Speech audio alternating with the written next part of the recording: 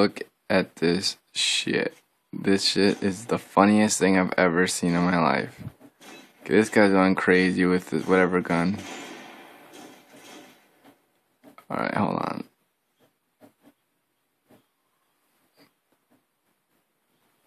Oh, let me pause it quick. Okay, you see me, right? Check this out. I jump up. I miss the no scope somehow. As soon as I jump up, I lay down and he misses his knife.